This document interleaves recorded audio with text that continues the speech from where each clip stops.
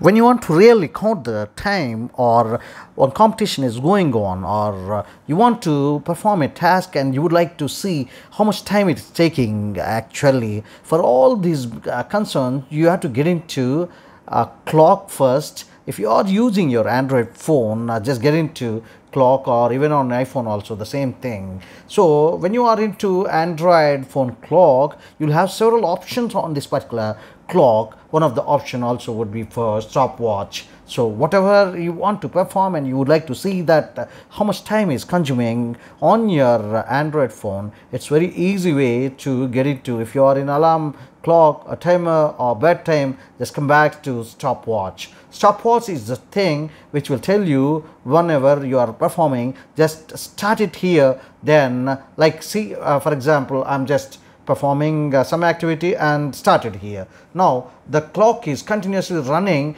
and as soon as you perform the task or uh, the competition is over you can uh, come back to a halt position so that the whatever the time exactly it happened on your uh, Android phone would be the real, uh, real uh, time which was performed on that particular task. For example, now assume the task is over just stop that's all.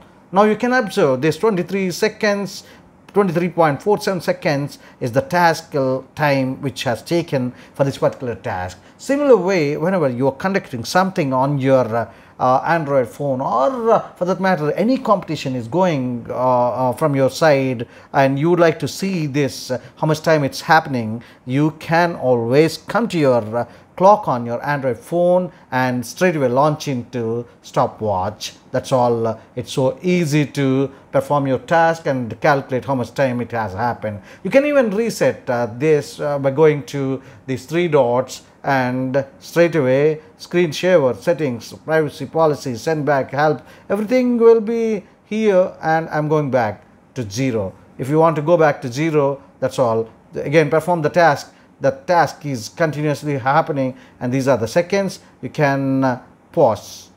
This is the pause. You can continue and this still continuing. And even you want to stop stop. That's all. 11.18 i want to continue continue this is the time set and doing that's all. Thank you so much uh, for watching this video. See you in the next one. Till then, bye-bye. Subscribe the channel, like and share the video for more such content on the channel.